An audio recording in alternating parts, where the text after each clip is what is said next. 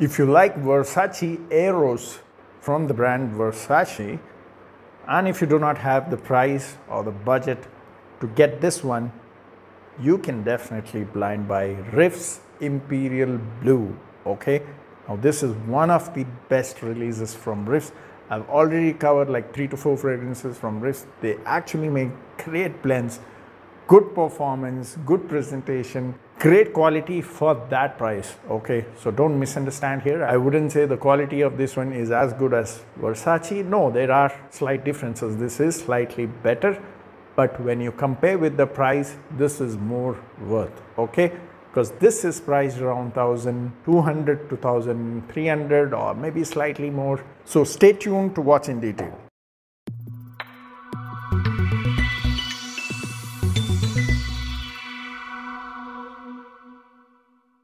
What's up guys, this is Yaser, welcome back to my channel. You're watching Yaser's FitFrag and today I'm going to talk about another beautiful clone from the house of Riffs and that is called Imperial Blue. I'll quickly do the presentation. This is how the presentation comes. Inside this is where you get the bottle okay? It sits inside here. Very nice presentation. This looks like made of tin okay? It's not really plastic but made of tin that sort of dabba what do you say in india okay? And it's an eau de parfum concentration made in uae it says imperial blue here riffs and all the other manufacturing details. And you see the note breakdown here as well which is something interesting. I haven't seen this before in riffs. I just saw this now okay? Even when i tested it i didn't pay attention to this because i generally don't care much about the presentation. Though i appreciate when brands really pay attention to the presentation plus the blend okay? I always give first preference to the blend and then the presentation but when both are done it is definitely something that you need to appreciate. So the batch here is august 2021 okay which is printed in black. The base is pretty plain. This top has this riffs logo okay? Now coming to the bottle the thickness of glass is very very thick okay that's something you need to appreciate in UAE brands because this sort of bottle you don't really see in cheap brands in India. I don't know how they make such thick glass for such budget price fragrances. Has this golden metal plate which says Imperial Blue and then Riff and this nice golden cap. The sprayer is also very nice. Okay, no complaints. Goes fast and spreads slightly.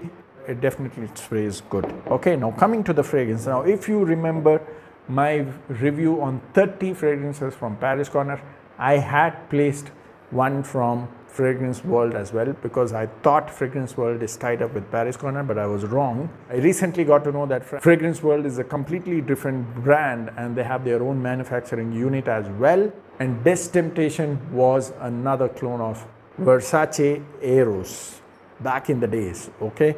And this is also very nicely interpreted 80 to 85% close, guys. Very nicely interpreted. So that's from Fragrance World. This is not that easily available these days. Maybe they discontinued, I'm not really sure. Riffs has nailed it again. This is also 80 to 85% close, but I will still slightly push it a little ahead and say that 85 to 90% close because the quality is slightly better here or maybe it's the way you personally like it because this gives a slightly powdery feel.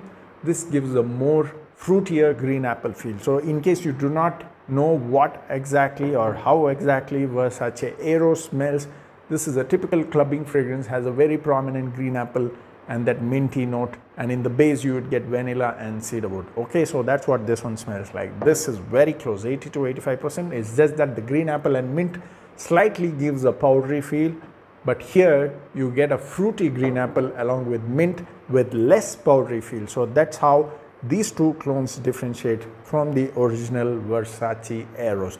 Now if you like powdery fragrances this might be your choice but if you do not like that powdery sort of dry down then this is your choice.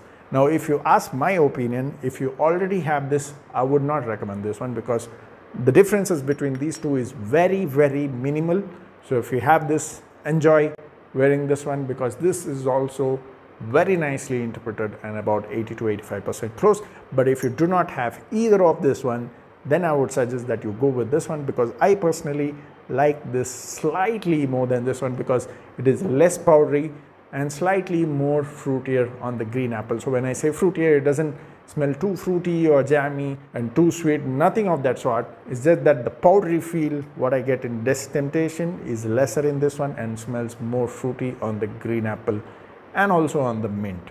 So in the base as and when it dries down, you will get a nice vanilla and cedarwood. So beautiful fragrance for the price of 1200 to 1400. This is an absolute banger guys, provided you like Versace Eros. Okay, now if you ask my opinion, Eros is not my favorite from the Versace series. My favorites is Dylan Blue, Versace Eau Fraiche and Versace Pour Homme. Then comes Eros, okay? But when it comes to women's choice, for some reason, women just go crazy on this one. I don't understand that, okay? Because there's nothing surprising because everybody have their own taste and in general, men and women have differences in taste. For some reason, women enjoy this one. I like this one only when I smell it in the air and not when I smell directly. Okay, doesn't mean that when I smell directly I hate it, but compared to the other Versace fragrance, I would place this on the last. But there are many people who love this one and especially women's reaction are better on this one from what I've seen. Okay, in the air it smells really nice, especially in the cooler weather. I don't recommend this for the summers. So in the cooler weather, this smells really attractive especially for women. This also would do the same, though I have not worn it outside till date. I have just tested it. So coming to the performance, again the performance is more or less similar to this one. 2 hours of projection, 8 to 9 hours of lasting. This also gives me the same, so there is no difference in the lasting. It's only the quality difference because this is more smoother compared to both the clones. So that way the quality here is still slightly better but if you compare the price let's say this is around 4000 this is around 1500 to round it off you still get three bottles of this one okay? So for that price value i would definitely recommend this one. Though if you have the budget you can still go with this one no problem at all. But if you do not have the budget this is definitely a price value and worth fragrance if you like the blend of Versace Okay, so that's about it. Let me know in case you have tried this. Comment down in the comment section. See you next time soon. Keep sharing the videos. Cheers.